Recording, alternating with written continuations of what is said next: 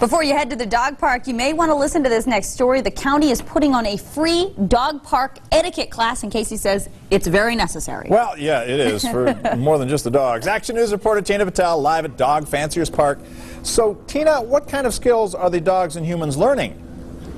Well, it's not about obedience. It's about simple kind of manners, if you will. And now that the sun's up, Alfredo, we've actually seen a lot more people come to the dog park. We've got the Action News Hawk, and you can see just how many people are here with their pets. And there's already been some near problems. Yeah, um, when you have a responsible dog handler, uh, you can avoid a lot of problems. We, we watched uh, a lady come in here with a big Great Dane, um, and she had the Great Dane held tight to her while she went to the area that she was going to let her dog play in, and another big Rottweiler came up to that dog. That could have been a potential problem if um, she didn't control her Great Dane, because the Rottweiler, even though he he was not being aggressive. He was being overly interested in a Great Dane, and she knew that the tolerance level was high.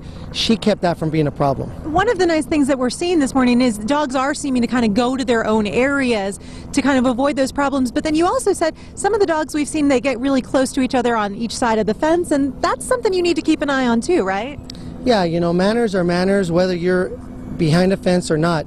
And the problem with some handlers is they allow the dogs to fence fight. They're barking behind the fence. The problem with that is you're you're giving them license to to not have good manners because when you don't have a fence available, if they act that way, that could become a problem. So the dog etiquette class that you're giving this afternoon is really about having having awareness of your dog and keeping an eye on how they're interacting with the other dogs, right? Right. Just pay attention to your dog and redirect energy if the energy is not acceptable.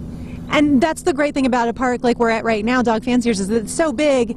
If you see a problem, you can just move. You said you can just simply move your dog to another part of the park focus them in a different area. Remember, we're here to have fun. This area was created so dogs can run and have fun. We're not saying we don't want you to have fun. Is be be aware of your dog's energy and redirect the energy to another side of the park so it could be more safe. Well, it's such a great thing that you're having the class because what you did say to me earlier is that there have been people that have come to dog parks, had a bad experience, and never come back. So this is a way that you can just learn a couple tips so you know you can come here and everyone can have a good experience. Yeah, the idea is for everyone to take advantage of the resources that we have here.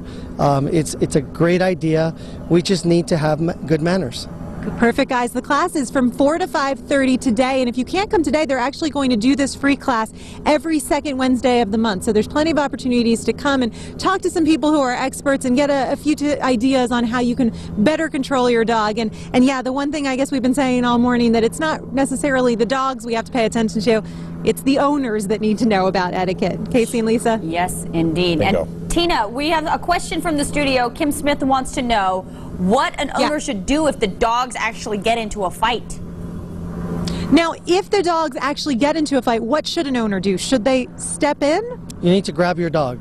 Each owner grabs their dog because most of these dogs don't have manners to begin with. They're not going to listen to you if you say stop. So you have to grab your dog and pull them away physically get in there and actually that's what we saw this morning is there was one owner who wasn't necessarily paying attention and it's a good thing the other owner was all right yeah Good advice. Very good advice. Both of them need to get in there. Yeah. Thank right. you, Thank Tina. you, Tina.